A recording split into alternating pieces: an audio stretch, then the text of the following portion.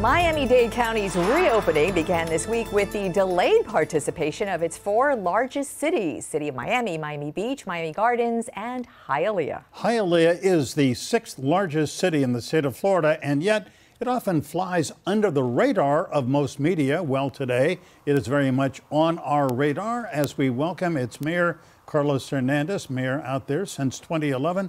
Mayor Hernandez, good morning or good afternoon, I should say. Great to see you. How are you? Good afternoon. Thank you for having me on your program, Michael. It's always a pleasure.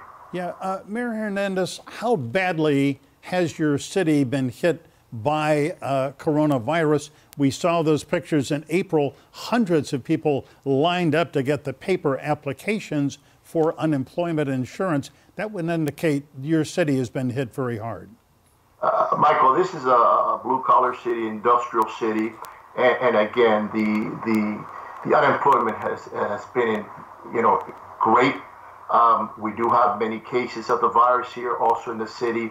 So, I mean, it's been a very, very rough two months uh, here in the city. Uh, again, the unemployment rate is one of the highest in the nation um, due to the fact that this is a very industrial city. Everything is pretty much closed down. And uh, hopefully we'll start moving forward now in the next couple of weeks unemployment highest, almost highest in the nation. And on the flip side, uh, one out of every five of your residents is in that elder population that is mostly susceptible to the worst of COVID 19. And, uh, and there are people there who, there's a, a fine line, if you will, Mayor, where people are the most susceptible and the people who are most um, affected by the unemployment. And, and so, how did you make this decision how to open and the practicalities of monitoring and managing that opening? Well, first of all, I mean, I've been working very close with the other large cities. Uh, no, for political reasons. I know people made it into political reasons, except that the county gave us the orders almost, um, I think it was a Thursday, and then they were going to open up on Monday. So we needed more time to to really look at what we wanted to do, and also to to educate our um, our businesses on how they were going to do things. So uh, we started phase one, which is pretty much the retail, the industrial, um, last Wednesday, and on this Wednesday we're going to open our restaurants. And and again, I think I think the most important point that I want to make here is that it's really up to all of us. I think as governments, we're doing the best we can. We don't have a book on this. It's not like hurricanes that we have a little bit of experience. This is a book that we're writing week to week, and, and we're trying to do the best we can. I know the businesses are hungry to open up. They want to do everything right because they want to move forward.